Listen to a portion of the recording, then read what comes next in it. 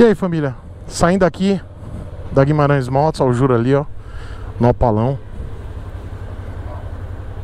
Acabou o evento. Literalmente o evento terminou. Sucesso absoluto. Muito feliz por isso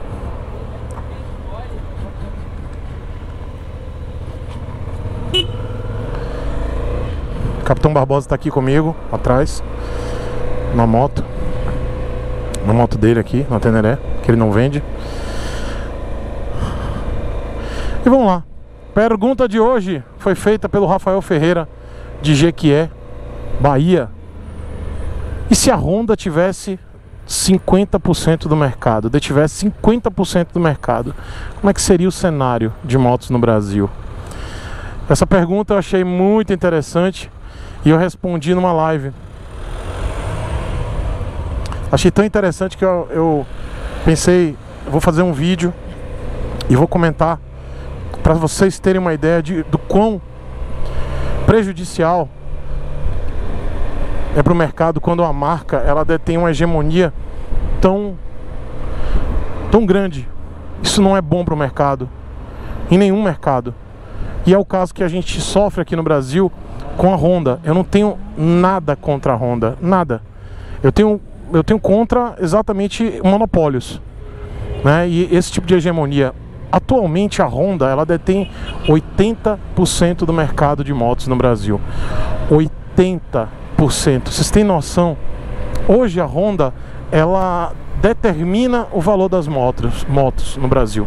Hoje ela é que gera esse, esses valores absurdos. Ela é que determina. Se ela aumenta o preço da, de uma, da moto de baixa cilindrada, as outras marcas vão junto.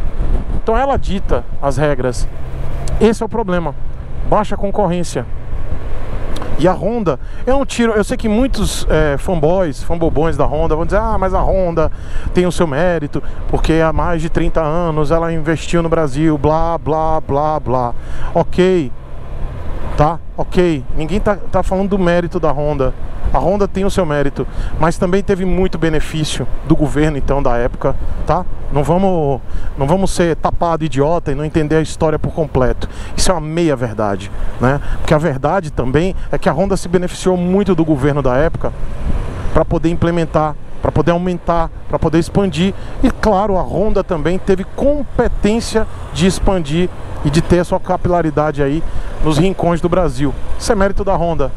Mas o que não dá é a gente continuar com essa hegemonia. Mas respondendo a pergunta do Rafael, se a Honda e se a Honda tivesse 50% do mercado, ia mudar? Não. A gente continuaria, tá, não vou nem ser tão exagerado assim, mudaria, mas mudaria muito pouco.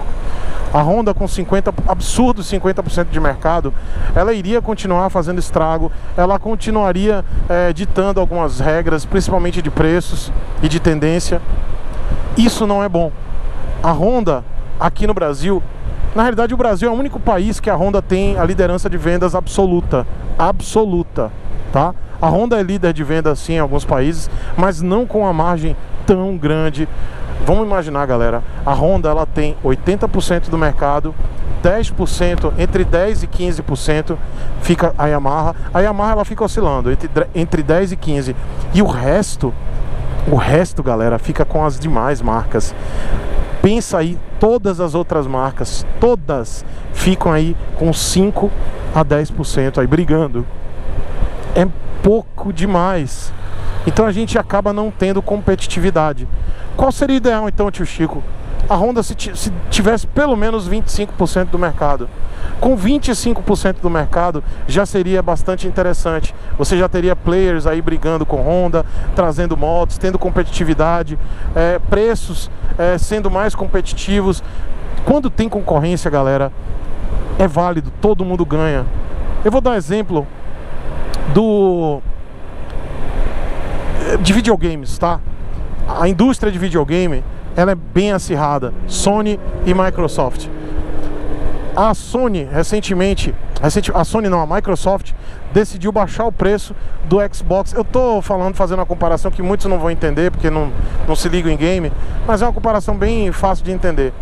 Recentemente o governo baixou algumas alíquotas de imposto e a Microsoft decidiu baixar o preço do Xbox Series X, que ele estava sendo vendido a 4.900 reais. Eu posso falar algum, alguma coisa errada de valor, tá? Quase 5 mil reais. E com a baixa desses impostos, né, com a, a diminuição dessas alíquotas pelo governo brasileiro, a, a Microsoft, em questão de uma semana, anunciou é, a diminuição no preço do console para R$ 4.500 ou 4.400. Me corrijam aí os, os que sabem mais é, em relação a esse valor, tá? Eu estou dando um exemplo aqui. E questão de dias depois, a Sony informou que baixou também o preço do seu PlayStation 5 em 4 mil, de 5 mil reais para 4.600, 4.500, tipo 100 reais mais caro do que o Xbox Series X, tá? Se o Xbox Series X custa 4.400, o PlayStation 5 4.500, tá? O que, que é isso? É uma concorrência muito forte. As duas empresas brigam a facão pelo mercado. E isso é muito bom, porque não existe, é, Maurício aí da Guimarães, é, não existe um, uma hegemonia da Microsoft ou da Sony. Não tem isso, galera. Então isso é muito benéfico. É, a briga é muito boa entre as duas marcas.